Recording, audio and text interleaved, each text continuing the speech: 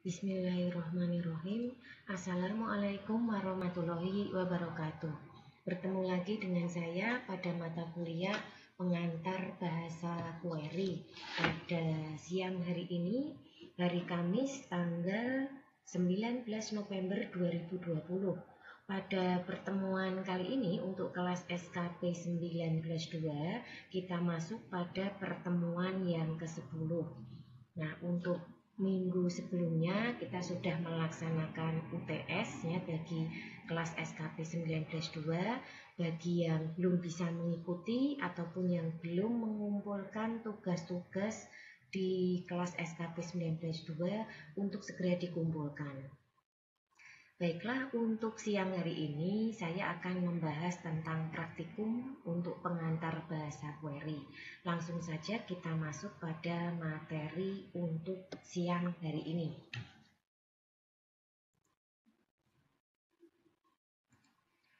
Oke, di sini untuk praktikum pengantar query nanti sampai dengan ujian akhir semester itu berarti intinya berisi tentang praktikum atau latihan-latihan ya. Jadi intinya harus praktek. Mungkin kalau pada pertemuan sebelumnya itu saya lebih mengarahkan kepada teoritisnya. Nah, untuk yang setelah UTS ini saya lebih menguatkan kepada prakteknya. Harapannya semua memiliki sarana prasarana yang mendukung untuk bisa mengikuti praktikum perkuliahan pengantar bahasa query. Nah, kira-kira apa saja yang perlu dipersiapkan di sini? Yang pertama, pastikan Anda sudah mempunyai database. Jadi, eh, di dalam komputer yang Anda pergunakan itu sudah ada database-nya.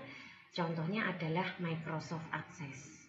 Nah, saya kira untuk akses ini cukup mudah karena termasuk sifatnya familiar, umum sekali dan dia biasanya menjadi satu dengan Office ya, jadi paketan dengan Windows di sini. Nah, kemudian eh, di sini untuk versinya pun bebas, tidak masalah ya. Jadi nanti yang penting ketika membuat Anda perhatikan beberapa hal atau aturan yang membuat bagaimana file hasil database itu nanti bisa dipergunakan meskipun versi aksesnya berbeda-beda sesuai dengan Windows-nya. Dan yang kedua, membuat data source name dengan fasilitas ODBC pada Windows. Ya, jadi di sini e, nanti ada aplikasi yang namanya ODBC. Ini support dengan Windows ya. Nanti akan saya share baik di Classroom ataupun di WA Group Nah, nanti dari aplikasi itu bisa Anda install, diaktifkan sendiri pada komputer yang Anda punya di rumah, yang nanti digunakan untuk membuat data source name. Kemudian yang ketiga, untuk yang dicontohkan di sini menggunakan format Access 2000. Nah, jadi yang saya contohkan di sini ini formatnya, ya versinya itu yang ini. Nah, bagaimana kalau yang versi lebih tinggi misalkan nanti dilihat saja ada cara untuk mengatur supaya bisa sama dengan yang dicontohkan. Baiklah, untuk selanjutnya akan ditunjukkan cara menggunakan ODBC Query Tools. Nah, di sini yang pertama adalah membuka Microsoft Access terlebih dahulu. Jadi langkah pertamanya dibuka dulu aksesnya. Setelah itu pilih blank desktop database ya di sini uh, ada pilihan seperti ini. Di sini kan diakses itu kan ada yang recent dan ada yang older. Nah, untuk recent ini adalah uh, yang aktif saat ini yang sudah baru dibuat hari ini ya yang ada, sedangkan yang older itu yang dibuat pernah kemarin-kemarin. Nah, sekarang kita mau bikin baru, silahkan pilih blank desktop database dulu. Kalau sudah, nanti ketikkan di sini namanya, ya. Buat database baru, pilih atau gunakan format akses 2000.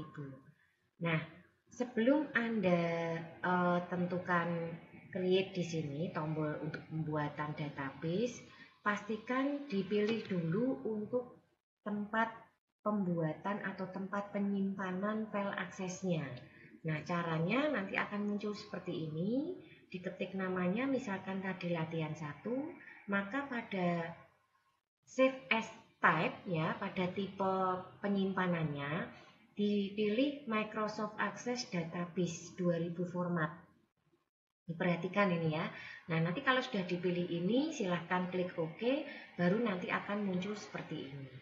Jadi pastikan ketika Anda masuk blank desktop database, memberi nama, itu pada saat save as type-nya dipilih yang tipenya Microsoft Access Database atau 2000 format.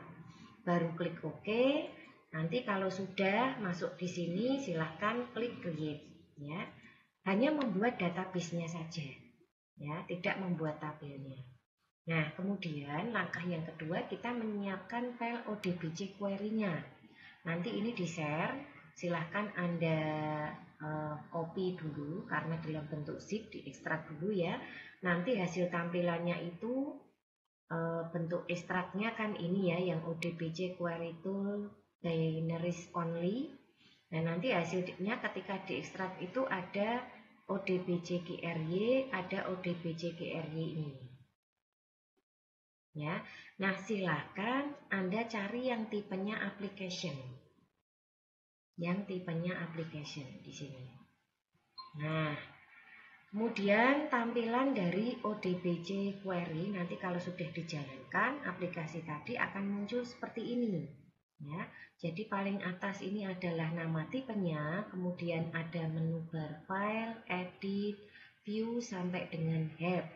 Kemudian ada menu toolbar, ada connect, disconnect, open script, save script, toggle output, copy selected, copy all, help, dan lain-lain. Yang sebelah kiri itu ada database schema. Nah, di database skema ini nanti seperti Windows Explorer, jadi menunjukkan seperti ada pohon direktorinya, isi-isinya apa saja. Kalau sudah ada isinya, kalau sudah terkoneksi, berhubung ini belum terkoneksi, maka tidak akan muncul untuk database scheme ini. Kemudian yang berikutnya ada enter uh, eh, SQL query. Nah, di sinilah nanti tempat kita untuk memasukkan perintah-perintah query-nya.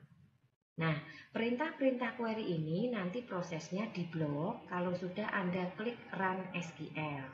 Memang di sini ada run script. Kalau run script itu berarti kita sudah masuk program.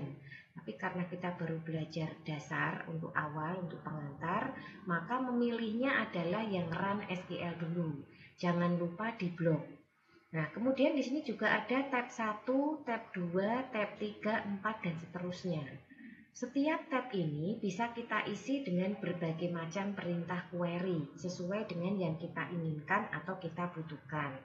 Jadi kesimpulannya dalam satu file uh, query yang kita bikin ini bisa menampung beberapa tab yang isinya adalah beberapa latihan. Jadi bisa saja Anda memiliki satu perintah SQL tapi isinya ada latih satu, ada latih dua, ada latih tiga dan seterusnya. Di mana latih satu itu mungkin di dalamnya ada perintah lagi yang berbeda-beda dengan latih yang kedua, ketiga dan seterusnya. Nah, kemudian di bagian yang bawah ini ada query result. Menunjukkan hasil dari query kalau sudah berhasil ketika kita blok kemudian kita run. Nanti kalau berhasil di sini akan muncul query successful seperti itu.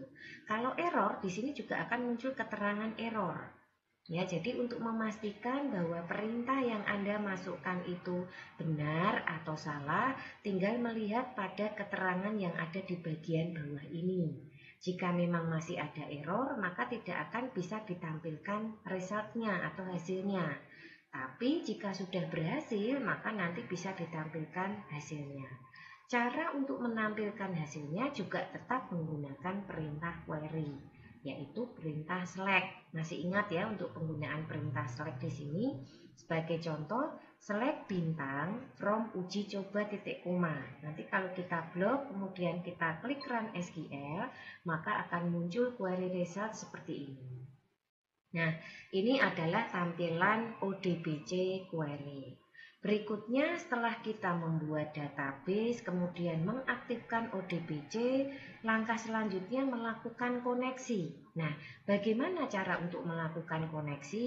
Di sini yang pertama, ya, ini pastikan drivernya adalah ini. bintang titik MDB. Tadi kita kan sudah membuat versi 2000 ya, ini ada DB 2000 titik MDB ini. Nah, kemudian ini untuk drivernya sudah, biasanya letaknya di paling atas ini yang ada tanda listnya ya, kita klik nanti. Kemudian yang kedua, enter a name for this connection. Anda harus memberikan nama untuk koneksinya. Untuk nama ini bebas, boleh pakai bahasa Indonesia, bahasa Inggris atau yang lain. Pastikan nama yang mudah untuk diketik, nama yang mudah untuk digunakan sehingga tidak mudah lupa juga ya. Misalnya ini diberi contoh namanya koneksi. Nanti kalau sudah, klik tombol Save as New Connection.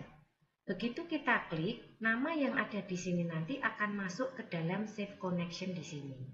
Jadi intinya uh, window atau kotak dialog ini untuk membuat koneksi dan koneksinya pun bisa banyak. Ya, jadi nanti save connection itu bisa saja ada koneksi satu, koneksi dua, koneksi tiga dan seterusnya. Tergantung apakah kita menggunakan nama koneksi yang sama untuk latihan yang berbeda-beda ya. Jadi di sini kalau misalkan latih satu menggunakan koneksi satu, latih dua mungkin menggunakan koneksi dua dan seterusnya. Nah itu berarti nanti nama atau save connectionnya di sini bisa banyak, gitu ya. Nah kemudian setelah semuanya ada, setelah tersimpan di sini, langkah berikutnya selalu tes, tes connection string. Kita cek dulu di tes, ya di sini. Kalau sudah diklik, maka nanti pastikan isi dari message test connection itu adalah seperti ini sukses, kemudian ada tulisan ODBC Connection Successful Established. Berarti ini sudah siap untuk melakukan koneksi dan koneksinya pun juga berhasil. Nah, tetapi kalau error belum bisa. Kita lakukan perulangan lagi sampai betul-betul muncul pesan sukses seperti ini. Gitu ya. Kalau sudah klik OK, Kemudian langkah berikutnya karena kita sudah membuat koneksi, kita kembali ke window ODBC tadi. Nah, di sini silahkan Anda klik tombol connect ya. Maka nanti akan muncul connected as admin to unnamed connection. Nah, database skemanya baru muncul. Jadi yang perlu diingat-ingat, jika sampai database skema ini belum muncul, berarti proses koneksi itu belum berhasil masih ada kendala di koneksinya. Nah, untuk checking koneksinya bisa jadi ketika Anda tadi membuat database tidak dalam versi yang 2000 tadi. Ya, jadi langsung ACCDB seperti itu bukan MDB. Nah, makanya nanti di set dulu harus betul untuk database-nya baru nanti lakukan proses koneksi dengan benar. Baiklah, e, contoh berikutnya membuat database dengan nama Jajal MY1. Ini sebagai contoh ya, saya bikin database. Kemudian klik OK. Nah, setelah sukses melakukan koneksi, kita isi dengan perintah query. Mengisi perintah query-nya di bagian yang sudah saya sebutkan tadi di sini. Anda mengetik perintahnya itu di sini. Jangan lupa setiap selesai di blok perintahnya, kemudian klik tombol Run SQL. Kalau masih ada keterangan error di bagian bawah, berarti masih terjadi kesalahan.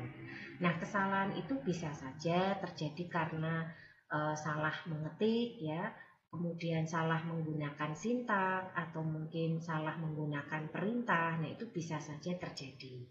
Nah, ini yang harus kita lihat dulu Eh, setelah sukses melakukan koneksi, mulai kita isi dengan perintah query. Membuat tabel baru, sintaknya adalah create table diikuti nama tabel, field 1 tipe size, koma, field 2 tipe size, koma, dan seterusnya, jangan lupa kurung tutup. Nah, nanti kalau kita buat dalam perintah query menjadi seperti ini. Misal ada pertanyaan ketika akan menuliskan perintah apakah menggunakan caps lock atau huruf besar semua atau huruf kecil. Nah, biasakan kalau untuk pembuatan perintah menggunakan huruf besar ya. Sehingga nanti filternya bisa dibuat kombinasi seperti ini. Nah, ini adalah contoh untuk membuat tabel. Nah, implementasinya dalam jajal MJ1 ini seperti ini. Create tabel barang, koma, kode barang char dalam kurung 5, nama barang char dalam kurung 25, harga integer kurung tutup titik koma. Ya, langsung saja dari mulai create sampai titik koma ini kita blok, kemudian klik tombol run SQL. Nanti kalau muncul query e, sukses berarti itu sudah membuat tabel baru. Nah, berikutnya kita mulai memasukkan data karena pembuatan tabel sudah selesai. Menambah data baru di sini menggunakan perintah insert. Insert into nama tabel dalam kurung field 1, field 2, dan seterusnya. Values dalam kurung nilai 1, nilai 2, dan seterusnya. Nah, ini bisa juga menggunakan model yang lain, yaitu insert into nama tabel, values dalam kurung nilai 1, nilai 2, dan seterusnya. Contoh, insert into karyawan. Ini adalah nama tabel dalam kurung nama pekerjaan gaji M kerja. Berarti nama filternya dimasukkan dan diketik ulang ya. Nah, biasanya di sini ini rawan kesalahan. Karena kadang-kadang tidak teliti antara yang Anda buat di create table atas tadi dengan yang akan diisikan di sini. Nah berikutnya ini mengisikan rekodnya kalau teks itu diapit oleh tanda petik. Ya kalau angka langsung saja tidak ada tanda petiknya atau menggunakan model yang kedua. Kalau model yang kedua saya kira lebih simpel karena Anda tidak perlu menuliskan nama fieldnya, cukup nama tabelnya saja. Insert into karyawan, values dalam kurung, ya ini, kemudian koma, berikutnya koma angka. ya, jadi ini yang perlu diperhatikan Gunakan saja yang simpel, tidak terlalu panjang perintahnya, sehingga ketika akan dilakukan koreksi juga tidak menyusahkan seperti itu. Nah, di sini yang perlu diperhatikan lagi bahwa untuk teks diapit oleh tanda double petik, sedangkan untuk angka itu cukup menuliskan apa adanya saja. Nah, setelah kita coba, setelah mengisi, tabel sudah dibuat, sudah diisi juga, saatnya kita menampilkan data. Untuk menampilkan data, jika semuanya menggunakan perintah select bintang from nama tabel. Sehingga kalau dicontohkan dari kasus yang sudah dibuat sebelumnya menjadi select bintang from karyawan. Nah, simpan hasil query menggunakan perintah save script. Hasil query yang diberi nama latihan 1.sql ini itu di save script itu akan tersimpan. Seandainya nanti ada tab 2 diisi dengan perintah lagi, maka ketika di save script itu bisa e, disimpan dengan nama yang berbeda, tetapi koneksi bisa satu atau bisa sama. Ya. Jangan lupa tentukan lokasi penyimpanan. Nah, Cara menutup dan membuka kembali hasil query sebelumnya, jadi misalkan Anda sudah selesai membuat, besoknya akan di-open atau dibuka lagi apa yang sudah dibuat kemarin. Nah, menggunakan perintah open script, nanti tinggal dipilih nama file yang kemarin Anda tuliskan di situ. Nah, ini adalah contohnya, kemudian hasilnya seperti ini, tinggal di-open. Nah, kesimpulannya yang perlu diperhatikan, pada saat create, pembuatan tabel baru beserta field dan lain-lain. Jadi ini kita membuat sebuah tabel menggunakan perintah query ya. Kemudian yang kedua adalah insert, itu menambahkan record baru. Kita menambahkan yang umum dulu karena ada nanti penambahan yang sifatnya khusus ya. Kemudian select ini untuk menampilkan isi tabel secara keseluruhan. Oke, jadi pada siang hari ini kita sudah belajar satu membuat database blank dulu di akses ya. Perhatikan pada saat penyimpanan database nanti pilih yang format versi 2000 tadi. Kemudian yang kedua, setelah membuat akses langkah berikutnya kita aktifkan ODBC-nya. Kalau ODBC sudah siap, langkah berikutnya adalah membuat koneksi. Ya, membuat koneksi diberi nama dulu, dites dulu. Kalau bisa koneksinya berhasil, maka baru kita bisa melanjutkan ke langkah berikutnya yaitu mulai membuat tabel. Nah, kalau tabel sudah berhasil, maka nanti di skema, di database skema yang sebelah kiri, itu akan muncul tabel yang sudah kita buat. Nah, langkah berikutnya kalau tabel sudah dibuat adalah menyiapkan eh, ini apa namanya record karena fitnya kan sudah dibuat di create table tadi. Tinggal kita tambahkan record dengan perintah insert. Nah, selanjutnya untuk menampilkan dan melihat kembali apa yang sudah Anda buat, kita bisa gunakan perintah select. Nah, sekarang untuk tugas praktikum pada siang hari ini. Buat database baru dengan nama tugas query underscore nama Anda .mdb. Ya, perhatikan ketika mengumpulkan tugas, perhatikan pemberian namanya dengan baik. Jangan membuat nama sendiri. Tugas query underscore nama Anda. Ya. Nah, kalau sudah membuat database kosong diakses, langkah berikutnya adalah buat dalam query ODBC tabel berikut ini. Nah, berarti kita menggunakan perintah create bla bla bla tadi ya. Beri nama SKS 192. Ini kan ada 192 ya di sini. Nah, kemudian eh, Isikan ada NPM dengan tipenya char, widthnya 14. Kemudian nama tipenya char, widthnya 20. Alamat tipenya char, widthnya 30. Tanggal lahir itu ada di time. Umur ada single. Jenjang itu tipenya char, widthnya 2. Catatan tipenya menu. Kalau sudah, berhasil pembuatan tabelnya, silahkan isi tabel berikut dengan lima orang nama teman-teman Anda satu kelas. Ya, kalau memang sekelas tidak ada lima orang, silahkan tambahkan dua nama lagi lain yang bebas seperti itu ya. Kemudian yang terakhir tampilkan hasilnya. Berarti intinya praktikum kita kali ini dipraktekkan semua pada tugas perdana ini. Silahkan nanti Anda coba di rumah ya. Kalau ada kendala itu silahkan ditanyakan ya. Nah, untuk tugasnya sendiri ini ada lanjutannya.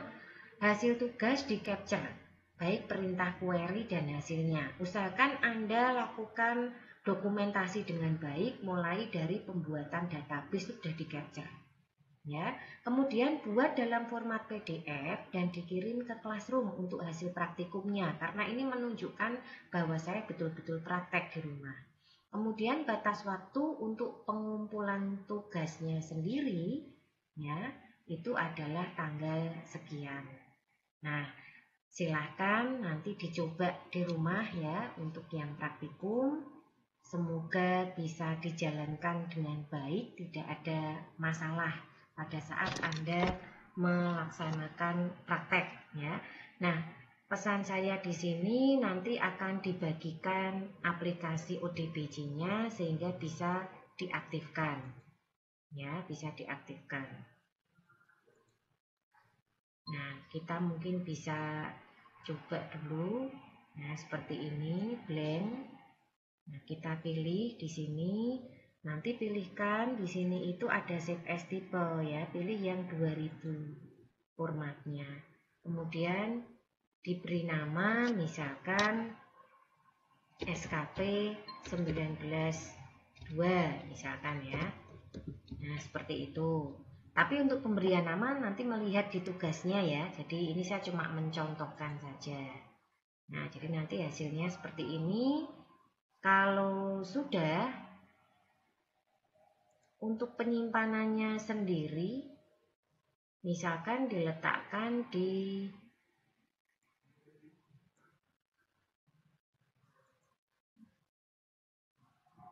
sini ya. Nah, misalkan saya letakkan di sini. Oke. Nah, jadi nanti nyarinya gampang. Terus di create. Nah, Kalau sudah, silahkan di close. Ya, di close. Kemudian langkah berikutnya nanti eh, silahkan diaktifkan apa namanya aplikasinya. Ya, silahkan diaktifkan ODBC-nya. Nah, untuk ODBC-nya sendiri coba ini saya cek dulu.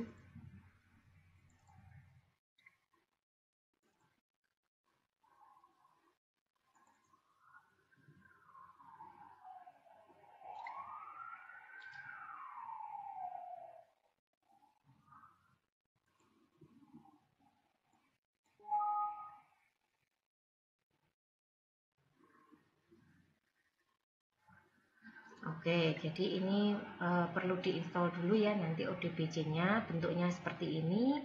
Tinggal diklik, nanti hasilnya akan muncul seperti yang sudah digambarkan tadi. Nah, silahkan nanti bisa dicoba untuk proses koneksinya. Ya, untuk proses koneksinya nanti bisa e, dicoba di sini.